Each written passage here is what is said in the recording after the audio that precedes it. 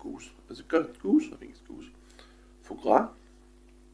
And um, different small plates. And and we had a great time and the food was wonderful and and I think the, the, when the bill arrived, it was around fifteen, fourteen hundred dollars, and um, I was waiting for her to pick it up, and she said, um,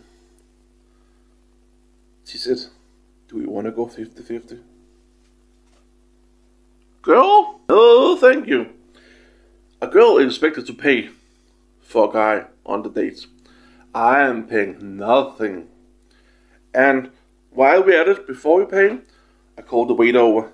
Hey waiter, I want you to pack a goodie bag, a little bit of every deal, a dish I have had, into a big goodie bag, and I'm gonna take it home to my kids so they can eat too.